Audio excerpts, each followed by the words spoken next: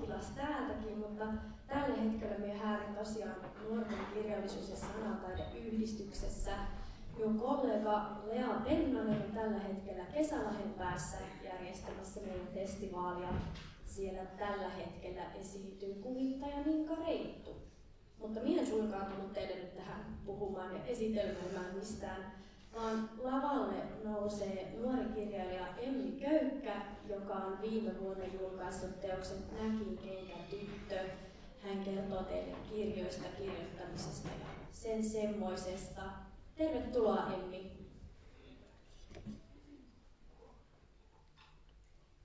No, hei vaan. Mä oon tosiaan Emmi Köykkä ja mä oon Kemistä. Täällä Kiteellä mä en oo ollut ikinä, mutta tota, aion kyllä tulla uudestaan, että tää on ollut aivan niinku ihan paikka, mitä mä oon nyt tätä nähnyt tässä eilen illalla, kun tulin. Ja siis mä oon niin innoissani ja iloinen siitä, että mä voin olla täällä teille kuumassa. Ja tota, mä tosiaan olen kirjoittanut tämän kirjan Näkin tyttö. Ja No, olisi tosi kiva, jos te kuuntelisitte tätä esitelmää, vaikka me tietenkään voi ketään pakottaa. Ja tota, jos ihan rehellisiä ollaan, niin mua jännittää. Mutta mä toivon, että mitään katastrofaalista ei tule tapahtumaan.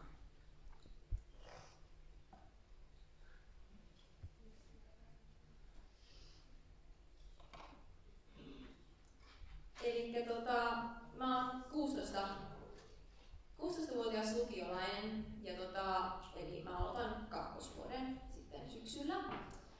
Ja tota, noin, jos minä itsestäni jotain sanoa, niin no, mä tykkään hirveästi lukea, että lukutoukkasana kyllä silleen kuvastaa mua hyvin. Lukeminen ei ehkä ole se kaikkein trendikkäin harrastus, mutta mä todellakin toivon, että täälläkin on sellaisia muitakin, jotka tykkää lukea.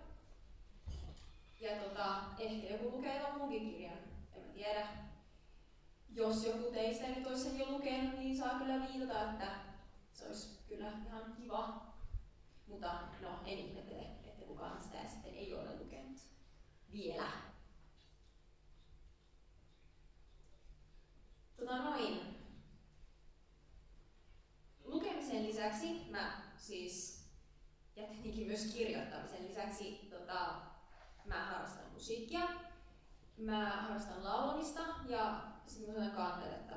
Ja musiikki on muutenkin mun ihan hirveän tärkeä asia. Ja nyt kun ollaan täällä Kiteellä, niin täytyy sanoa, että mä oon pienestä asti ollut ihan hirveän Nightwish-fani ja semmoista. Öö, sitten tota, historia on semmoinen mun tosi tärkeä kiinnostuksen kohde. Öö, ja luonto on mulle tosi rakas. Sitten harrastan ratsastusta. Mm. Ja tota, historiasta ja luonnosta mä sen mun oman inspiraation esim. tähän mun näkinenkätyttöönkin on silleen saanut. Sitten mä tykkään muumeista ja hobiteista, kaiken maailman tällaisista oudoista otuksista ja sellaisista. Mä unelmoin maalla asumisesta ja no ainakin tästä kiteestä tuli aika hyvä potentiaalinen ajatuksen arvoinen vaihtoehto tulevaisuuden tuota, kuka tietää vaikka kotipaikkakunnaksi, mutta no, sitä nyt kerkeää vähän mietiskellä. Sitten mä haaveilen armeijaan menemisestä ja kirjailijan urasta, joka on, on aika hyvällä mallilla jo mun ikäinen ainakin. Sitten tosiaan tämä mun kirja Näkinkenkätyttö. Tämä on kustannus Zeta Kustantamon julkaisema kirja. Ja tota, tämä on kustannustetaan viime vuonna järjestämään kirjoituskilpailun yksi voittajista. Ja se palkinto oli tosiaan se, että sitä kirjaa. Ja se kirja sitten julkaistiin. Ja tota, mä tosiaan ihan onneani koettaakseni laitoin sinne tämmöiseen nuori kirjailija 2021 kilpailuun tämän tekstin ja se olikin sitten aika kannattavaa, mä oon pienestä asti haaveillut kirjailijan urasta, mutta no en mä nyt siltikään todellakaan uskon, että tuo sen voisi voittaa. Mutta niin kuin, toisin kävi kuitenkin, että kannattaa nyt uskoa niihin unelmiin sitten, että viime vuoden loppupuolella tosiaan julkaistiin tämä näkikirjatyttö. Sitten itse tähän kirjaan. Keskeisiä aiheita tässä mun kirjassa on nykyajan koulumaailma ja yksinäisyys. Sitten se kertoo syömishäiriöstä, mikä varmaan onkin sen teemoista se tunnetuin, että jos joku täällä tästä on ennen kuullut, niin todennäköisesti se tulee mieleen, että tämä kertoo siitä. Tämä ei todellakaan ole pelkkä syömishäiriökertomus, vaan on paljon muitakin aiheita tässä kirjassa. Öö, mä itse tosiaan olen sairastanut vakavan anoreksian. Ja tota, mä olin sen takia sairaalassa monta kuukautta viime vuonna. Mutta tällä hetkellä mun toipuminen on aika hyvällä mallilla sinänsä. Mä koin sellaisen ihmeparantumisen Tampereella 7. tätä kuuta, eli aika vasta. Ja sen jälkeen kaikki on mennyt aika paljon paremmin. Mä en oikeastaan tiedä, mitä te tästä sairaudesta tiedätte, mutta mä kyllä itse luulin aika lailla, että mä en yli tässä ikinä parantuisi. Mutta mä olin väärässä, joten jos teillä sattuu vaikka olemaan jotain tällaisia ongelmia, tai jollain teillä tutulla on, niin ei kannata sitä uskoa menettää, että se on ihan oikeasti mahdollista parantua.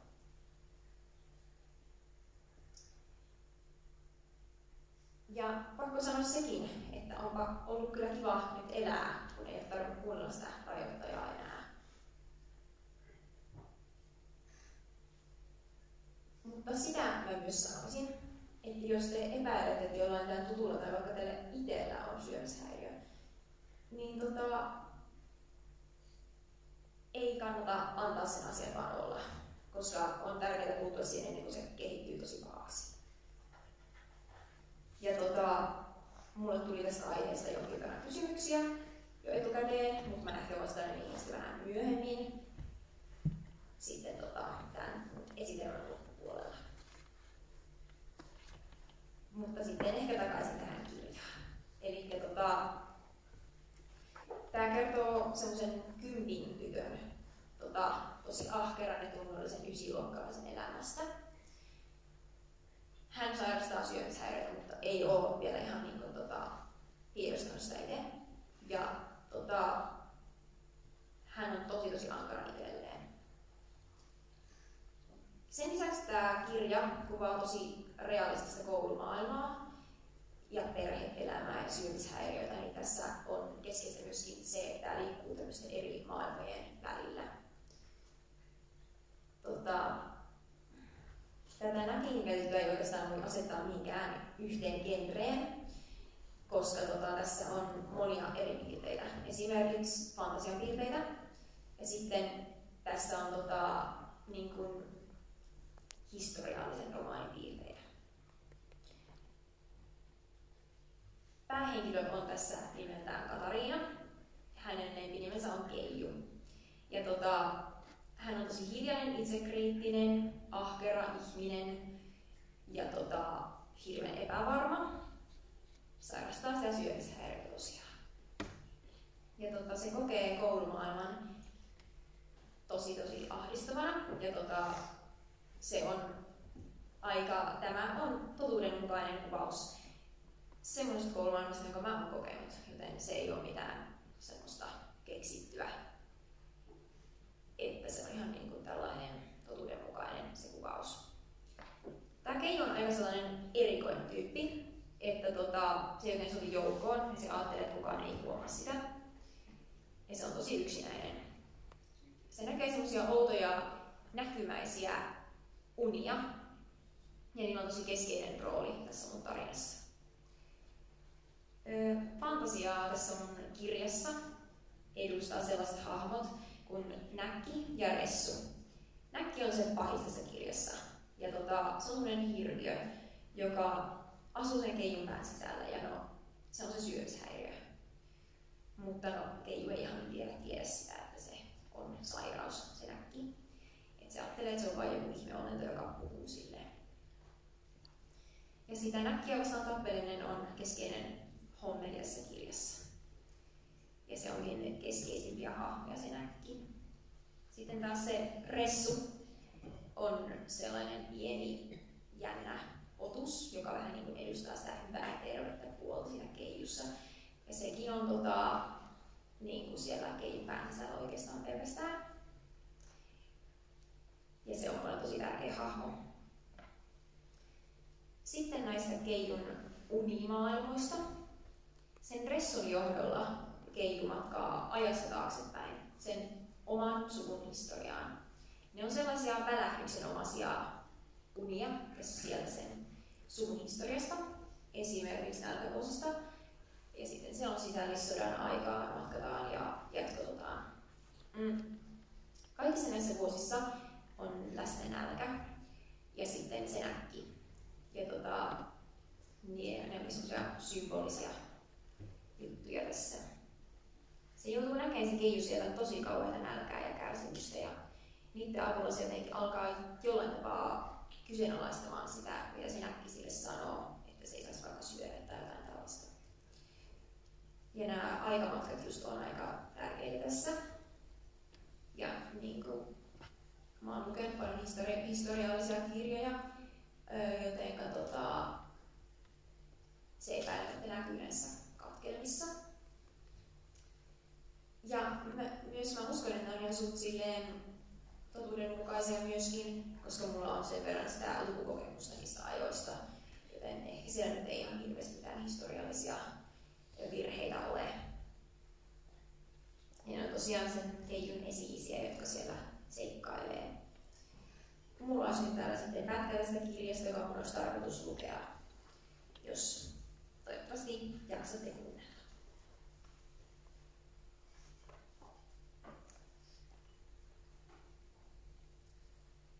Keiju, oletko sinä koskaan nälkäinen? Tyttö kysyi heleällä, mutta kuitenkin surullisella äänellä. Keiju nielaisi. Hän mietti sitä, miten jätti omasta tahdostaan. Miten pyöritti ruokaa lautasellaan, laittoi sen sitten takaisin kattilaan, tai vielä pahempaa, syötti sen rahikaiselle tai mirreille. Välihuomautuksena, että rahikainen ja virri on keijun lemmikkejä. Sellainen ei ole normaalia käytöstä. Se oli mielessä oleva repeävä haava. Se oli henkistä nälkää, joka sattui, painoi ja möyrysi kuin villivero. Jos tuo ruoan puute ja vähyys sekä sen aiheuttama nälkä oli luonnotonta, niin eikö ollut vielä luonnottoma, luonnottomampaa, kun teki sen tieden tahtoen, kun vain kieltäytyi syövästä. Ja oliko siinä edes kyse omasta tahdosta?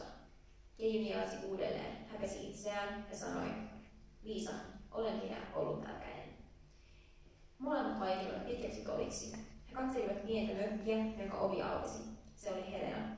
Nainen näytti hirvittävän väsyneeltä ja polkolta.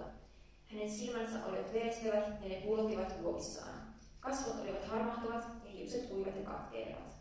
Keiju hengitti syvään ja yritti hillitä pahaa oloaan. Helena halasi pientä tytärtään ja sanoi sitten jotain, mitä Keiju ei kuullut.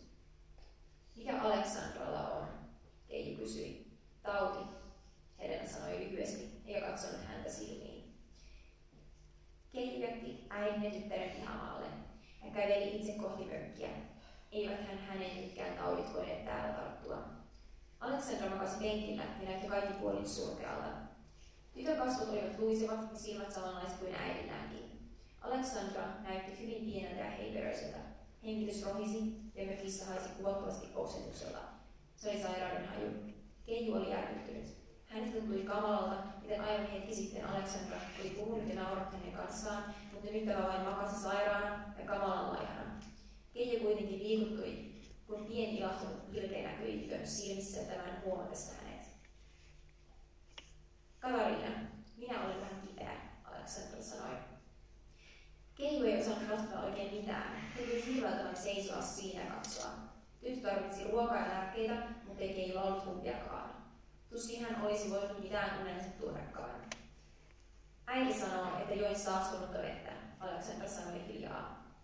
Keiju nielasi ja hänen sydäntään piinsi. Hän tunsi edelleen sen saman yhteyden tuohon tyttöön, jonka oli tuntenut heti alusta asti. Kuin he olisivat olleet verisukulaisia. Keiju yritti olla vapisematta, mutta se tuntui miltei mahdottomalta.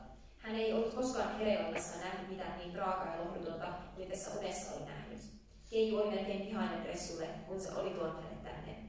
Kyllä minä paranen, Aleksandra sanoi, ja Keiju tajusi, ettei tyttö sanonut sitä häntä lohduttaakseen, vaan tämä taisi oikeasti uskoa siihen. Tytön silmissä valoi kitua valkea, mutta sairauden musta varjo tukahdut sitä.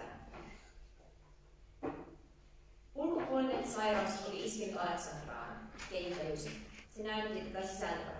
Oliko se sitten lavan tauti tai mikä hyvänsä, se oli raskas vastus kenelle tahansa, varsinkin näin heivereiselle pikkutytölle. Keiju mietti omaa elämäänsä ja vertasi sitä tuon kanssaan samanikäisen tytön elämään. Hän voi pahoin. Maailma ei ollut reilu paikka. Ajattelematta oikeastaan mitään, Keiju käveli ulos. Hän ei kestänyt sitä nälän taudin samentamaa katsetta enää. Liisa ja Helena kävelivät häntä vastaan. Helena äiti katsoi häntä synkästi ja sanoi, ei se parane. Keiju värähti. Nainen näytti toivonsa menettäneelle. Samaan paikkaan se menee kuin armaskin, hän hymähti. Sitten Helena silitti pienen kissatytön päätä ja he kävelivät mökkiin katsomatta Keijua enää. Ei Keiju nähnyt heitä enää koskaan. Hän käveli yksin rantaan. Kuu oli noussut, mutta tähtiä ei näkynyt. Keijua pelotti ja hän voi pahoin. Kuvotus nousi syvältä hänen sisällään ja pian hän jo oksensi unen. Voi kamala sentään. Mikä tarkoitus tällä kaikella, mikä tarkoitus tällä nälällä. Sitä pohtiessaan Keiju huomasi yhtäkkiä tumman, hukkupäisen kumarakotuksen tulevan rannasta päin. Sillä ei ollut kasvoja, mutta se katsoi Keijua kylmillä, hirvittävillä silmillään. Se näytti kamalan pahalta ja julmalta, ja Keijun tajunta lamaantui. Se oli näkki. Ja tuo näkki nauroi. Se nauroi pelottavaa, epäinhimillistä naurua, joka kaikui Keijun sisimmässä sekä tuossa synkässä yössä. Sen nauru kertoi kivusta ja kuolemasta ja nälästä. Se oli näkki nälkäläinen. Se oli nälän lähettiläs. Ei Keiju ollut koskaan kuullut mitään niin hirveää kuin sen nauru, joka pysäytti tajunnan ja vei kaiken toivon. Keiju heräsi. Herätessään hän tunsi tyynensä alla pienen esineen, jonka Ressu oli antanut hänelle viime yönä. Oli niin pimeää, että oli vaikea nähdä, mutta Keiju tiesi mikä se oli. Se oli tyhjä, avonainen sipuan kuori. Se oli näkin kenkä. Se oli tuommoinen pätkä. Ja tota, semmoinen välihuomautus, että jos teitä ei niinku kiinnosta tämä esitelmä, niin mä kunnioittaisin silti sitä, että te vaikka kuitenkin olisitte hiljaa, koska mä en voi pakottaa ketään kuuntelemaan. Enkä voi tehdä pakottaa ketään olemaan hiljaakaan, mutta mä uskon, että te olette kuitenkin, tai saman kesä kuin minä, joten kyllä mäkin osaan olla hiljaa, jos mä vaan haluan. Tänäkin on siis tärkeä hahmo näissä historiapätkissäkin. Ja tota, kokonaisuudessaan tämä näkinöyhtö on Keijun kasvukertomus. Ja sitten myös pahan ja hyvän, eli Keijun sairaan terveen minän taistelu. Sekä myös paranemiskertomus syömishäiriöstä. Joskaan tässä nyt ei siitä silleen kokonaan parannuta, koska kun mä tätä kirjoitin, niin mulla oli tyyliin pahimmat ajat vielä edessäpäin, joten en oikeastaan voi kirjoittaa tämmöistä kovin paranemiskertomusta niitä silloin vielä, mutta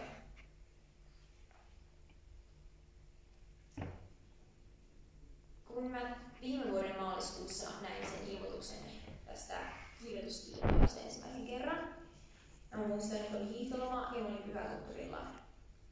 Ensin mä torjun sen koko ajatuksen, että mä voisin edes alkaa kirjoittamaan yhtään mitään, koska musta tuntuu, että mulla ei ollut aikaa eikä voimavaroja. Ja se sairauskin puski päälle ja semmoista. Ja mä oon tosi stressaantuva ihminen. Mutta mulla oli hirveästi ideoita ja inspiraatio ollut jo valmiiksi. Oli sellainen tunne, että mä haluaisin kirjoittaa jotain, että pitäisi vaan saada sitä inspiraatiota jotenkin ulos. Ja sitten mun aivot jostain syystä vaan rupes kehittelemään tämmöistä tarinaa, oikeastaan alitajuisesti. Ja sitten jotenkin mun aivot vaan päätti, että nyt tässä tehdään tarina, eikä siinä oikeastaan sitten auttanut, ruveta sitä kirjoittamaan. Ei tietenkään ollut yksinkertaista, mutta ja alussa mä aika paljon tuskailin sen suunnittelun kanssa ja näin. Mutta joka tapauksessa se kirjan juoni oli aika selvä ennen kuin mä aloin edes kirjoittamaan. Toki pieniä juttuja tuli sinne lisää myös matkan varrella. Se kirjoitusprosessi oli mulla tosi ailahteleva. Meillä mä kirjoitin ihan hulluna ja tuntui tosi helpolta. Sain inspiraatiota uusia tyylin keskellä yötä, oli pakko alkaa kirjoittaa muistiinpanoja. Ja sitten tietenkin välillä myös tökkii. Mä uskon, että kaikilla kirjailijoilla vähän tökkii välillä. Tuota, sitten myös itseluottamus vaihteli. Välillä uskoin ihan täysillä siihen omaan juttuun ja välillä tuntui, että tämä on surkea. Yritin olla ottamatta siitä niin paineita, mutta lopulta kävi niin, että sitä muodostui mulle ihan niin kuin elämään tärkeimpiä asia. Se oli niin kuin, en mä muuta juuri ajatellutkaan kuin pelkästään sitä kirjaa ja mä niin kuin, en toivon mitään niin paljon kuin sitä, että se voisi voittaa sen, että se olisi oikea kirja. Mä vuodatin ihan kaiken siihen ja se oli niin kuin mun siinä hetkellä mun niin kuin koko elämä pyöri sen kirjan ympärillä.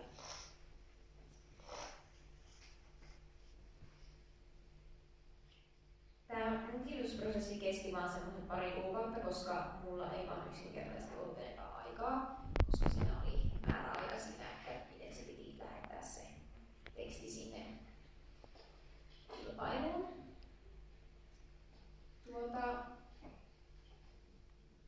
silloin viime keväänä, kun tosiaan, siis viime vuoden keväänä, mä kirjoitin tätä kirjaa, niin mä työstin tätä tarinaa oikeastaan lähes koko ajan. Siis koko ajan kun mä elin ja koin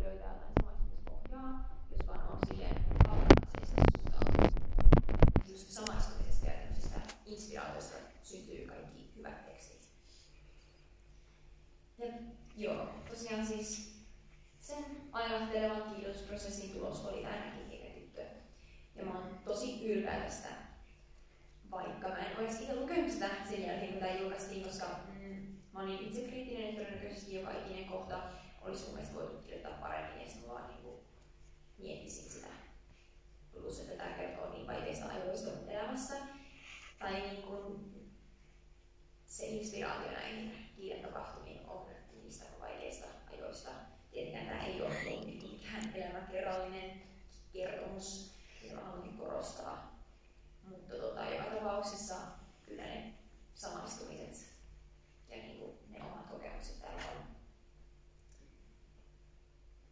mä olin ihan kuulopäähän lyöty, kun mä sain tietää, että tuo oli niin kuin voittanut sen. Mä olin silloin Oulun nuorisopsykiatrisessa sairaalassa ja se oli aivan hirveä paikka.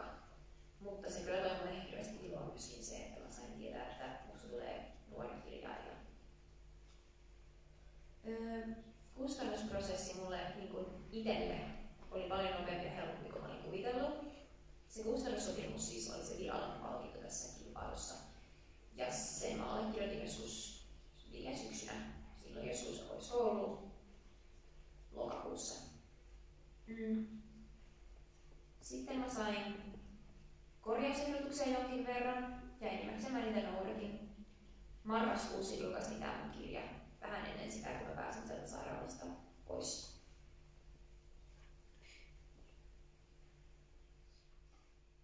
oman kirjan kiintyy tosi tosi kovasti ja se merkitsee itselle monia asioita. Mulle tämä mun kirja merkitsee semmoista niinku purkautumista. Mä purin tähän mun omat vaikeat tunteet, mutta toisaalta myöskin mun niinku haaveet ja kaikki tämmöiset niinku, mukavat mielikuvat ja sellaiset mulle tärkeät asiat Mä halusin kirjoittaa mukavan ja toiveen kaikille kuitenkin, vaikka tämä on tosi mukava aihe. Ja niin kuin se ehkä mielelläänkin, että tämä olisi aika synkkä kirja ja on tämä sille ehkä, mutta kuitenkin mä oon pitänyt sen taustalla tämän sen ajatuksen, että mä haluan kirjoittaa jotain sellaista toiveikasta. Kuten lienee ymmärrettävää, niin omiin itse keksittyihin hahmoihin kiintyy tosi paljon. Joten nämäkin hahmot on mulle tosi rakkaita. Ja mä oon vuorottanut niihin niinku todellisia ihmisiä, mutta inspiraatiota ja myös sitten joitain keksittyjä hahmoja mä oon niinku käyttänyt tässä mun kirjassa apuna mun omien hahmojen taustalla. Esimerkiksi tästä kuvasta voi jotain päätellä, että mistä mä esimerkiksi, esimerkiksi saanut jotain inspiraatiota, että siellä nyt on niin kuin jotain täällä pohjan alla niin tuota miekkosia hakemassa jotain soppaa ja rodoa ja vähän muumeja. Kiintapainenkin tuolla lammikossa. Mun mielestä hahmojen keksiminen ja kehittäminen on aika helppoa, koska voi hyödyntää omia kokemuksia. Toki sitten kun kokoaa niitä hahmoja ja yrittää tehdä järjestelmällisiä ja järkeviä, niin se myös vie jonkin verran aikaa, mutta on se mun mielestä kuitenkin silleen. Ja oikeasti aika hauskaa. Mm. Sitten näistä näkinkielten hahmoista. Keijussa on toki, siis tässä päähenkilössä, on tosi paljon musta itsestäni, jonka on tosi tärkeää. Niin, niin kuin mä sanoin, niin mä haluan korostaa, että se Keiju ei ole minä. Että siinä on paljon eroavaisuuksia sinänsä kuitenkin, vaikka se onkin sinänsä. Tai omia kokemuksia siinä on kyllä käytetty. Muita tärkeitä hahmoja on just ne Ressu ja Näkki, joista mä jo puhuinkin. Ja ne on tämän tarinan kannalta tosi merkittäviä. Sitten Keijun perhe ja sukulaiset on aika pienessä roolissa sinänsä, mutta on niillä tosi iso merkitys kuitenkin. Että tota, ne on tärkeä syy sille Keijulle parantua ja ylipäätään jatkaa elämää. Kuten niin kuin mullekin oli mun oma perhe tosi tärkeä silloin, kun mä menin huonosti. Keijun luokkakaverit ja kuitenkin sen koulumaailman ihmiset on niin lähellä mun omaa elämää. Et epäilemättä jos joku lukemaan tämän, niin ne voisi tunnistaa sieltä itsensä. Mutta mä epäilen, että niitä koskaan lukemaan, että mun ei tarvitse miettiä sitä ongelmaa. Mun muistot siis peruskoulusta ei todellakaan kovin lämpimiä, tässä kirjasta kyllä huomaa, jos sen lukee. Mutta yksi mun tär- tärkeimpiä hahmoja tässä kirjassa, mulle itselle siis, on yksi keijun luokkakaveri, Lassi, ja se on ihan erilainen kuin Keiju luulee. Ja sillä onkin iso merkitys sille. Koska se Lassi huomaa, että sillä Keijulla on vaikeaa, se yrittää tukea sitä. Ja sitten tota, se vähän niin kuin murtaa sen jään sitä Keijun ja kouluihmisten väliltä. Mä yritänkin tässä viestiä sellaista, että mä ihan oikeasti kannustaisin ihan kaikkia koulussa ja no missä hyvänsä, niin miettimään niitä tyyppejä, jotka on niinku ihan yksin, hiljaa siellä niinku hiippailee siellä käytävillä tyyliä ja seisoskelee siellä nurkissa ihan yksin ja on just sen olo, että älä vaan tuu puhumaan. Ehkä just silloin kannattaisi mennä puhumaan, koska just ne saattaa kaivata sitä tyyppiä, että joku tulisi puhumaan. Koska mä olisin just esim. kaivannut sellaista ihmistä yläasteella, koska et sä voi koskaan tietää, jos menet kysymään tyyli jotain ihmisellä, mitä sille kuuluu tai jotain, sä voit tyyli pelastaa sen elämän sillä. Koska hiljainen paljon helpommin on huomattavissa sellainen näkyvä kiusaaminen. Kun taas se, jos jotain tyyppiä ei suoranaisesti kiusata, mutta se on vain yksin, kukaan ei periaatteessa niin välitä, niin sitä ei välttämättä huomaa ollenkaan, ei edes opettajat huomaa sitä välttämättä. Joten ihan oikeasti ei voi koskaan tietää, mitä siitä seuraa, jos te menette puhumaan jollekin. Ja mulla on toinenkin pätkä, ei ole ihan kuin se edellinen.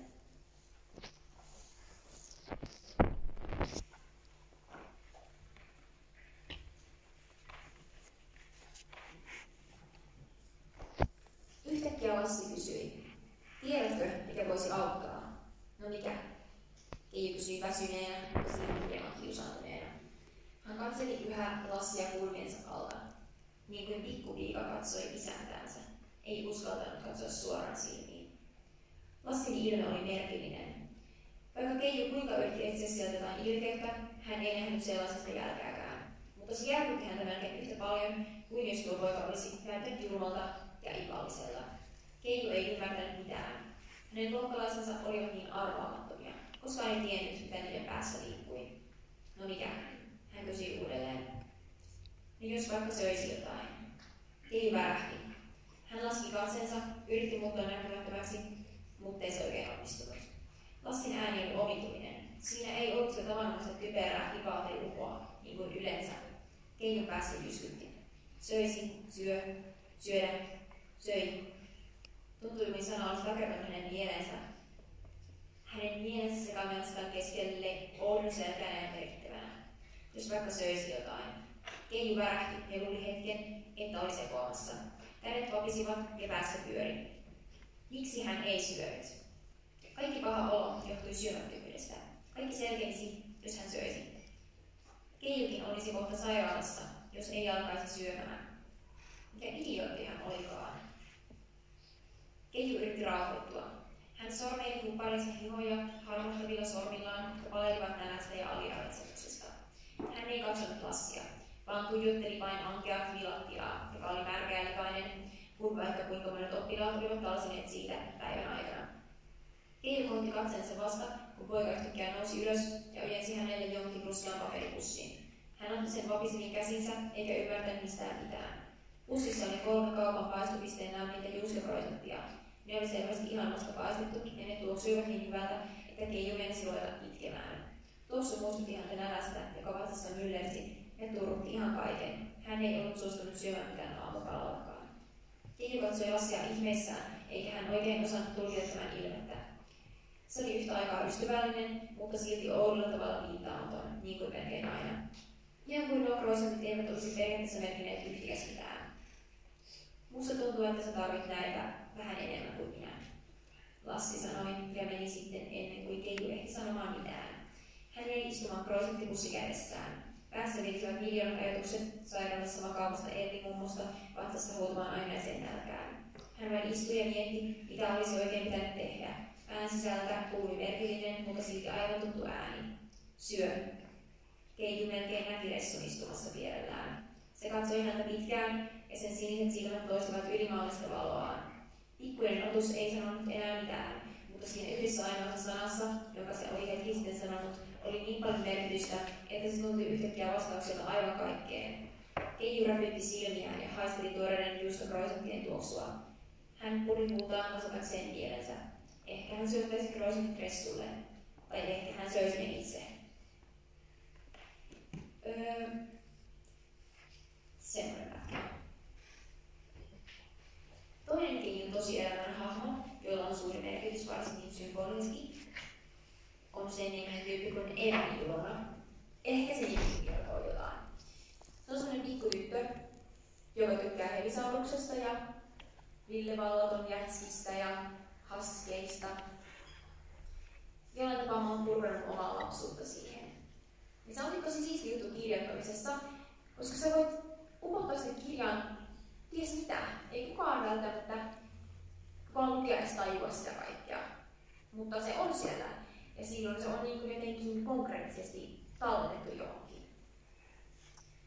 Ja myös lukemisessa se on tosi upeaa, koska vaikka sä lukisit toisen kirjoittaman kirjan, niin sä voit silti kokea jotain tosi isoja tarkoituksia ja merkityksiä niiden hahmojen kautta. Öö, ja sitten vielä hahmoista. Eli tota, Keijun esi-isät on tärkeitä hahmoja. Ja ne kertoo asioita sieltä historiasta, mutta todella myös syventää tätä Keijun hahmoa. Mutta siinä nyt varmaan oli jo tarpeeksi henkilöhahmoista ja nyt mun on pakko juoda.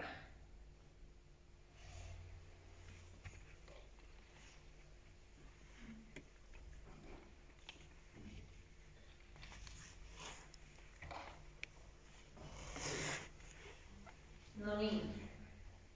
Tota joo. Olisi tietenkin ihan älyttömän ihanaa, jos joku täällä innostuisi lukemaan mun kirjan.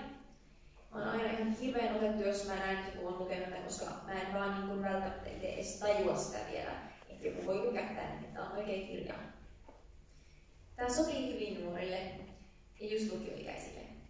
Mutta toisaalta myös aikuisille, koska tota, esim. aikuiset sukulaiset, jotka tänne on lukenut, niin on kyllä tykännyt. Jos sulla on vaikeuksia mielenterveyden kanssa, tai jos sulla on vaikka syömishäiriö, niin tota, mä en usko, että tämä olisi sellainen triggeröivä juttu, mutta kannattaa kuitenkin silleen varauksella suhtautua, koska mä en voi tietää, mikä ketäkin triggeröi. Jos sun tilanne on tosi paha, niin kannattaa miettiä. No, uskon kuitenkin, että tämä voisi myös auttaa tämän sairastavaa, koska tässä on sellainen toivomismyönteinen ajatus ainakin omasta mielestäni. Mutta ehkä olisi järkevää, että tyylinen sun läheinen lukisi ensin, ja sitten vasta sinä, jos sulla siis on vaikka anoreksia tai joku muu mielenterveyden häiriö. Ja sitten voisi yhdessä miettiä, että onko se nyt se oikea aika lykättävä. Mutta mulle on tosi tärkeä ajatus se, että voisi auttaa jotakin, koska mä tiedän, että se voi olla hirveän toivoton tunne joskus. Tuntuu, että sä niin vaan voi parantua jostain. Ja varsinkin, koska mielenterveyden häiriöitä ei oikein osata hoitaa. Ainakaan mua ei osattu hoitaa niin kuin olisi ehkä pitänyt. Mutta mä puhun siitä ehkä vähän myöhemmin Mutta tota, vaikka voisi tuntua toivottomalta, niin tässä mäkin oon ja mulla menee aika hienosti, vaikka mulla näin ikinä parantuisi. Sitten muuten kysyttiin joistain asioista, että mitä ne merkkaa mulle mun kirjoittamisen kannalta. Koululla mä jo silleen sivusinkin. Ja lukiosta mä oon tykännyt tosi tosi paljon verrattuna peruskouluun, koska no yläaste oli aivan tosi tosi hirveitä, niin kuin mä jo sanoin. Sen lisäksi, että mulla ei ollut kavereita, luokkahenkeä ei ollut, ei yhtään. Työrauha oli sitä tasoa niin kuin. Ja siellä piti oikeasti olla pelossaan siellä luokassa. Ainakin mä itse olin. Eikä kukaan oikeastaan puuttunut siihen. Joten semmoinen hienoinen vinkki, te olette kuitenkin silleen samanikäisiä kuin minä. Niin jos sulla vaikka on ollut tapana pitää hirveätä meteliä luokassa, tai niin kuin, tuoda sitä luokan työrauhaa, niin kannattaa miettiä, että niin kuin samalla saa tuoda vaikka jonkun mielenterveyttä. Mutta eipä enempää siitä. Yläasteelta karusti sanottuna mä oikeastaan sain vaan pelkästään mitään tosi, tosi hyvää niin kuin, materiaalia tämmöiseen ahdistavaan koulumaailmaan kuvaavaan kirjaan. No joo, perheeltä ja läheisiltä mä oon niin kuin, saanut aivan sanon kuvailemattoman paljon tukea sekä kirjoittamiseen että ihan kaikkien muutkin. Tuota, erityismaininnan mä annan äidille, jolla mä tämän kirjankin omistin. Ja äiti on tukenut mua mun sairaudessa ja mun koko elämässä niin paljon. Sitten tuota mun kotikaupunki Kemi. En tiedä millaiset mielikuvat teillä siitä on. Mä oon sellaisessa ja rakkaussuhteessa Kemin kanssa, koska välillä mä oon pitänyt sitä maailman oikeimpana paikkana, mutta nykyään se on musta aivan ihana kaupunki. Mm, mutta niin kuin mä sanoin, niin en mä ehkä usko, että mä sinne kuitenkaan jäisin, että mua houkuttaa se maaseudulla asuminen. Mutta ei Kemissä mitään vikaa sinänsä ole, paitsi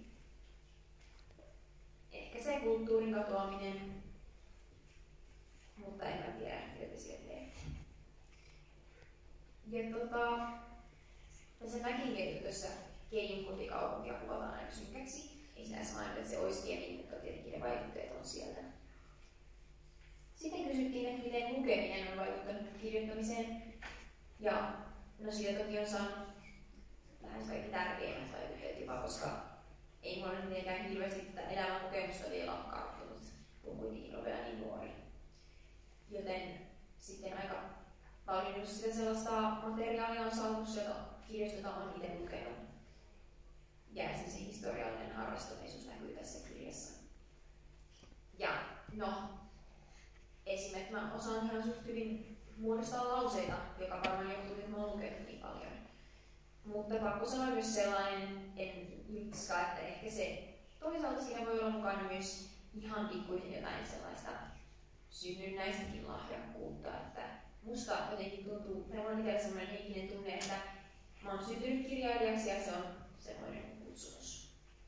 Ja se on tosi hieno tunne, koska kun tuntee, että jotain kuuluu tehdä, niin sitten se on tosi tärkeä sellainen asia, mikä johdattaa elämässä. Ja no joo, kirjailijuus. Mun on tosi vaikea mieltää itseäni miskään kirjailijaksi, mutta toisaalta joku Väinö Linnakin kansankoulun pohjalla oli aivan älyttömän loistava kirjailija. Väinö Linna on mun lempikirjailija. Mutta tuota, kirjailija on ollut mun haaveammatti lähes aina, niin kuin mä taisin jo sanoa. Ja mä toivon tosi hartaasti, että mä tuun kirjoittamaan paljon jatkossa. Tällä hetkellä mä en kirjoita mitään romaania, vaikka mulla onkin paljon ideoita. Tällä hetkellä mä oon kirjoittamassa runoja. Ja niitäkin aika lailla vaan itselleni, joskin mä oon alkanut miettimään, että niitä voisi ehkä julkaista jossain vaiheessa. Mikäli tuota kustannus sitä haluaa. Mm. On tärkeää kirjoittaa just siitä, mikä tuntuu sillä hetkellä hyvältä. Pakosta ei synny kovin mietittyä, tuntuu siitä. Mä kirjoitan joka päivä yhden runon. Mä jatkan sitä aina sen, sitä mukaan, kun mulle syntyy inspiraatiota.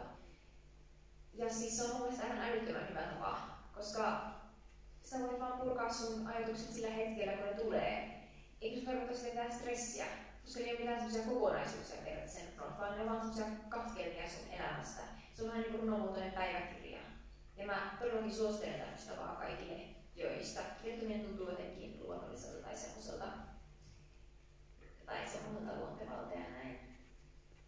Mm. Mä en esimerkiksi tiedä, mitä mä tulevaisuudessa tulen kirjoittamaan. Mä haluaisin kirjoittaa jotain syvällistä ja tärkeää, sille omalaatuista, mutta kuitenkin semmoista mukavaa. Koskettaa mua itseä.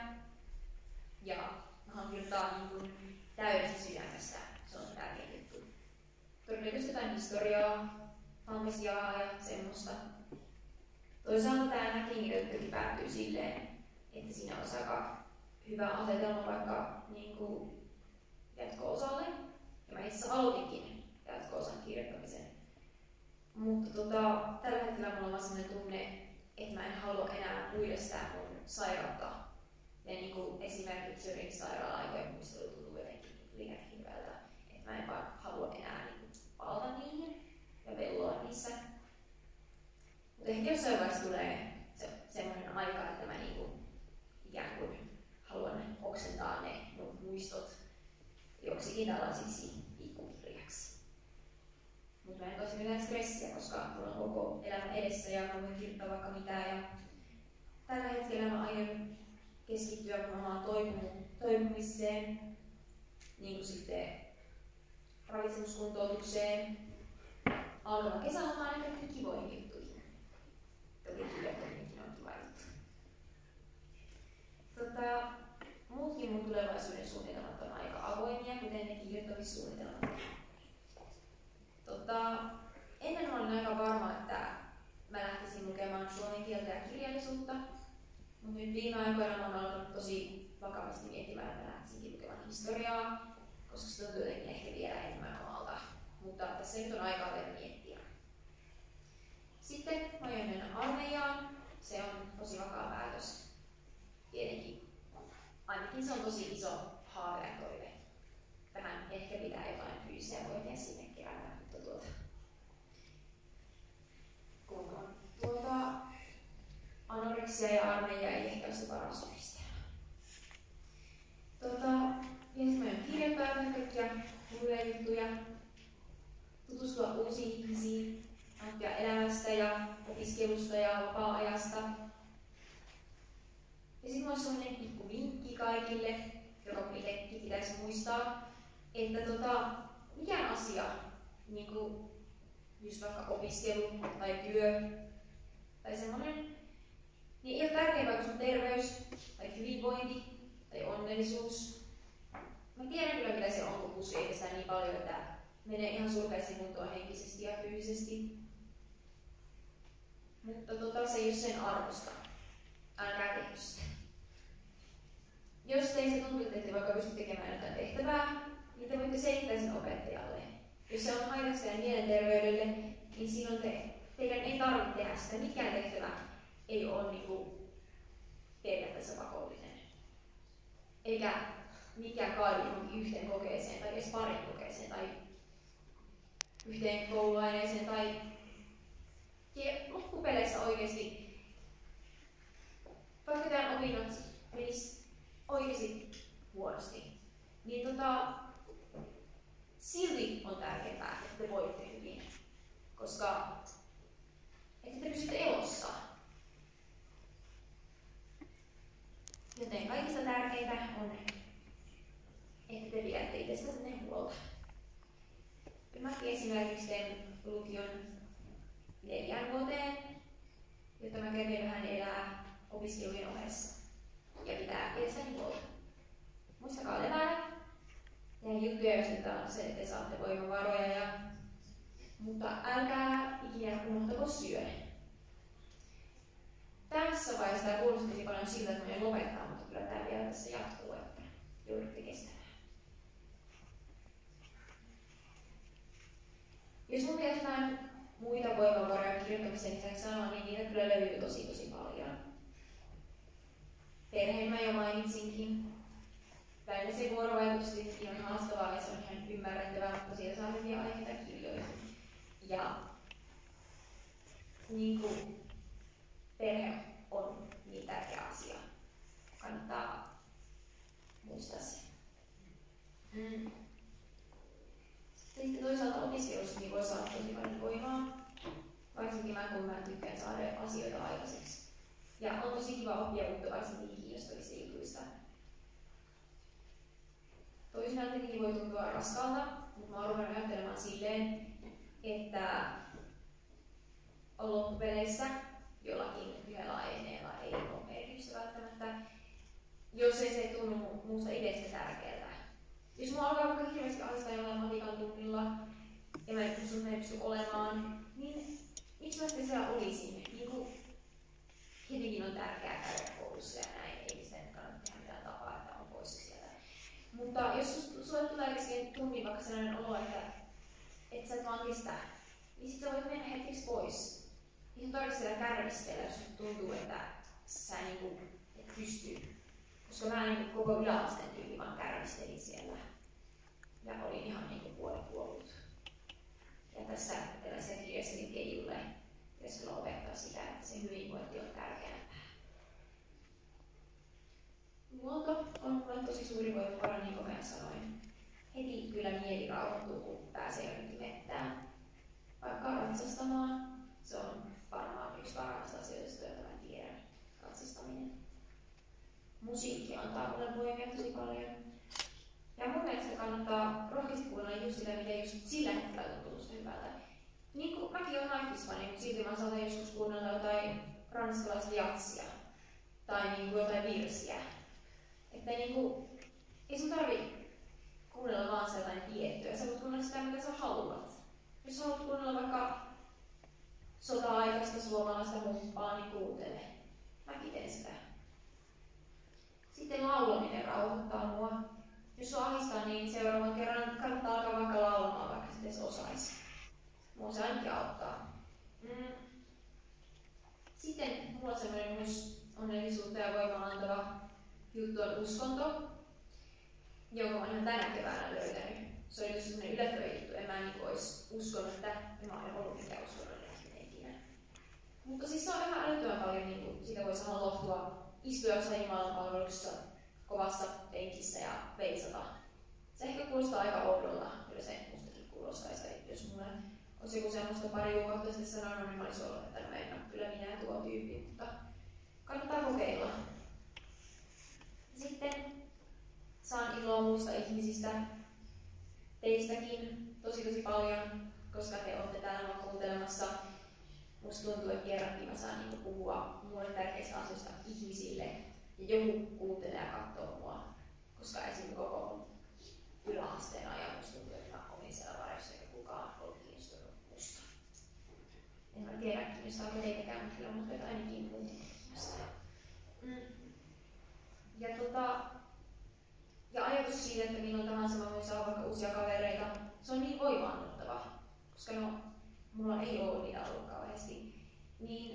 esimerkiksi koulussa nyt mä oon huomannut, että mä oikeasti voin niin kuin olla ihmisten kanssa, niin sitten se on niin voimaannuttavaa. Tärkeintä on se semmoinen itseluottamus. Koska jos sä itse luotat ja uskot itseesi, niin todennäköisesti muutkin uskoo. Ja kannattaa osata olla tarpeeksi vaativa ja epäitsekäs, kun on kyse sun omasta hyvinvoinnista. Ei saa vähätellä omia tarpeita. Niin kuin ja omaa itseä ei saa vähätellä. Sitten yksi mun tärkeä voimavara on sellainen juttu kuin kirjakraama. En tiedä kuinka moni sitä tietää. Se on siis lukemisesta ja kirjoittamisesta kiinnostuneiden ihmisten yhteisö Instagramissa. ja semmoista siis blogin. Sen nimi on tarinoita Pohjantähden alta.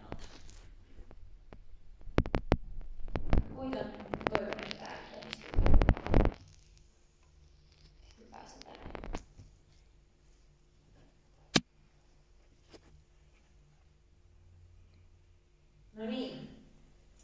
Täällä on tosiaan aika paljon kaikenlaista.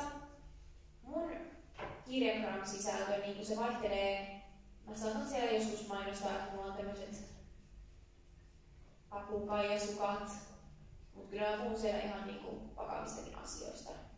Että tota, se on tosi semmoinen monimuotoinen paikka. Ja se on oikeasti niin jotenkin ihan älyttömän tärkeä juttu mulle. Ja mä oon niin yllättynyt siitä, miten moni ihminen oikeasti voi kiinnostunut mun vaikka lukemisista. Tota,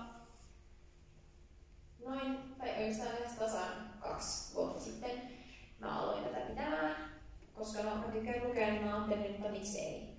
Mutta mä oon saanut sieltä tosi paljon kaikkea tuttavia ja niin kuin sellaista huomiota, jota mä en ole niin kuin ennen pystynyt oikeastaan edes kuvittelemaan. Että, että siellä voi niin kuin jakaa asioita myös kaikesta muusta. Mä oon huomannut, että ihmiset on kiinnostuneita, vaikka se ei edes liittyisi kirjoihin, vaikka se periaatteessa on niin kirjajuttu. Ja tota, joo.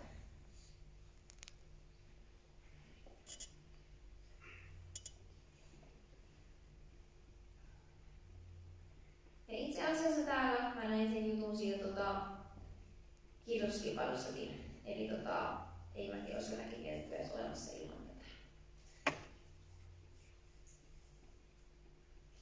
Pikkuhetki.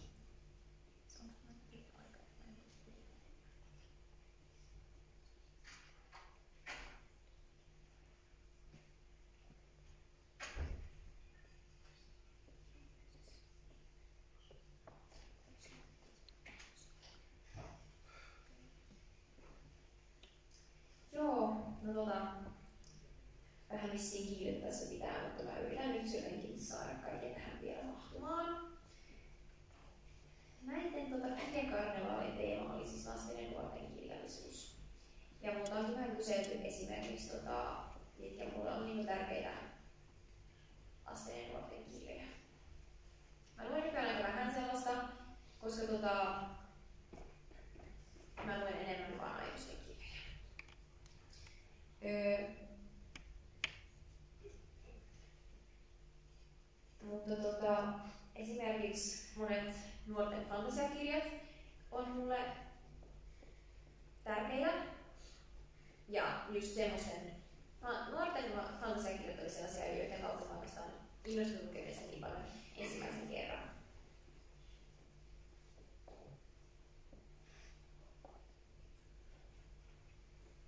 Ja tota,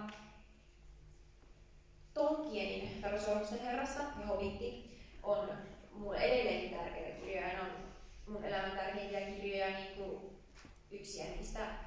Eikä ne ole mitään pelkkiä lastenkirjoja. Kyllä mä suosittelen niitä ihan kaikille. Ja tota, mä hirveästi inspiraatiota esim. tähän omaan kirjaan. Esimerkiksi tota, sen mun Ressuahon esikuva on ja tota, sitten on uudempia nuorten fantasiakirjoja.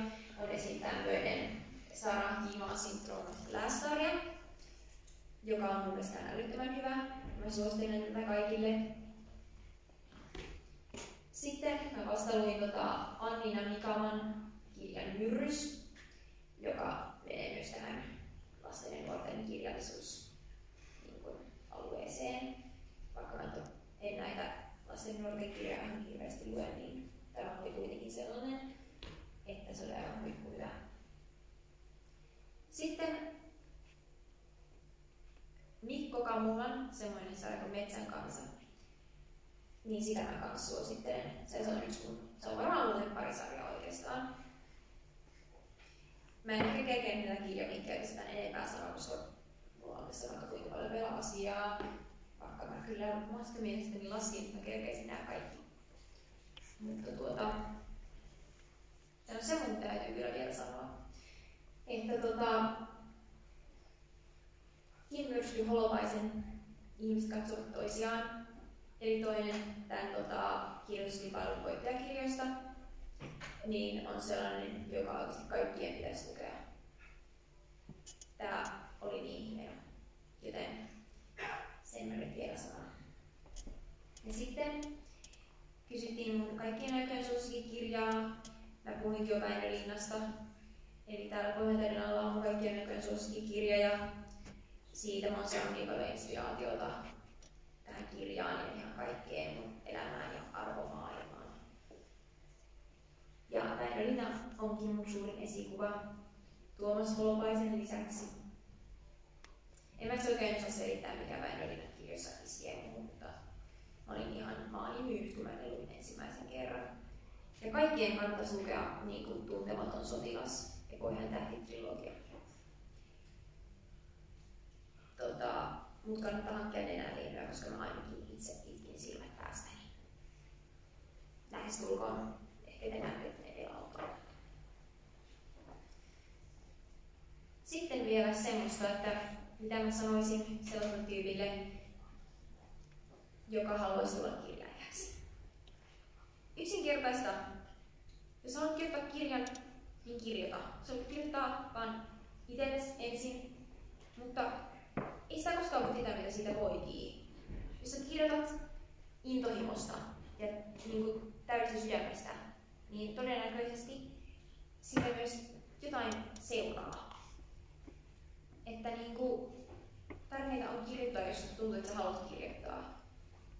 Koska kirjoittaminen voi olla ihan älytön voimavara. Siihen voi purkaa ihan kaikki omat ajatukset. Se on niin mahtavaa, oikeasti. Ja tota, en mäkään olisi sitä uskonut, että minusta tulisi 16-vuotias kirjailija, joka puhuu teille kaikille ihmisille täällä. Mutta täällä sitä nyt ollaan. Joten uskokaa ittenne. Ja tota, uskokaa unelmiin. Se mun piti vielä sanoa. Ja sitten tota, niitä kysymyshommia ehkä vielä. Tota, niitä oli niitä siihen syömishäiriöön liittyviä kysymyksiä jonkin verran. Niin ehkä mä kerkeen niistä vielä jotain tässä sanoa. Mun omasta kokemuksesta jonkin verran kysyttiin, mä en hirveästi halua sitä avautua, koska mä tiedän, että se voi olla toiselle, joka kamppailee syömisen ongelmien kanssa, niin tosi klikkeröivää. Mutta tota, sen verran voin sanoa, että kasiluokan alussa mä sairastuin. Tämä on siis tosi pitkäkestoinen sairaus ja pikkuhiljaa se niin tulee sinne. Öö, siihen liittyy pakonomasta liikkumista ja aina vain syömistä. Mä haluan sanoa syömishäiriöstä sen, että se ei todellakaan ole mitään pelleilyä, vaan se on ihan oikea sairaus, oikein mielinen sairaus, ihan hirveän vakava sellainen. Joten jos joku ajattelee, että se on vain valinta, että mä nyt en syö, niin se ei ole niin ihan oikeasti. Mä luulen, että mä en ikinä toipuisi. Mutta no, kannattaa ihan oikeasti uskoa siihen, että sitä voi myös toipua. Lukekaa mun kirja, niin siitä saatte tietää, millainen hirviösyömishäiriö voi. Mun lähes kaikki kokemukset, varsinkin psykiatrisesta hoidosta, on tosi huonoja. Mua ei ole ymmärretty, mun omaa parannemispolkua ei ole kunnioitettu. Niin kun terapiasta ei ole ollut mulle niin kun oikeastaan mitään apua. Joskus se on vähentänyt. Se ei ole ollut inhimillistä. Ja varsinkin esimerkiksi siellä nuorisopsykiatrisessa sairaalassa.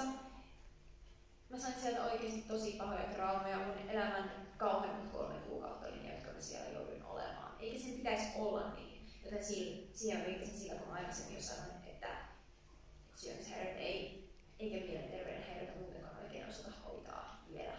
Mä toivon, että siihen tulee vielä jossain vaiheessa niin ihmisen tekee kuin se, että sut vain eristetään johonkin hirveäseen rakennukseen, jossa sulle pakko syötetään ruokaa, joko elämänhallintakulla tai sitten konkreettisesti. Ja niin kuin sun perhettä ei välttämättä päästä sinne silloin, kun yksi pikku huone, jossa oli vähän niitä. Se on ihan järkyttävää. Ja kunnioittaa sitä, että jokaisella syömishäiriöstä toipuvalla on oma parannemispolku. Koska jokainen niistä hirveistä sairauksista, niistä hirviöistä, joka siellä päässä on, niin semmoinen, nekin on erilaisia. Joten ei niitä sairastavia kaavoja kohdella kaikkia vaan sillä samalla tavalla. Mm. Se mun oma paraneminen oli sinänsä aika epätavallinen, koska se ihan oikeasti oli semmoinen ihmeparaneminen, siis henkinen ihmeparaneminen. Joku vaan loksahti kohdalleen mun päässä. Toki se syömishäiriö siellä vielä yrittää vähän kuiskutella, mutta yhtenä edellisenä päivänä mä olin miettinyt lähes jokaisen suupalan, jonka mä laitoin suuhun. Seuraavana päivänä mä päätin, että me mennään nyt pizzalle. Ja siitä se sitten alkoi. Miksi mä en voisi tehdä niin? Sitä alkaa kyseenalaistaa sitä omaa sairautta, niin että miksi sitä ylipäätään on kuunnellut. Joten sen voi voittaa ihan oikeasti, mikä se teidän reitti siinä sitten. Ja ehkä tähän nyt pikkusen vielä jakaa, että jos joku nyt haluaisi vielä jotain erityistä kysyä muusta tai kirjasta tai kirjoittamisesta tai syömishäiriöstä, mutta jos ei halua, niin ei ole pakko.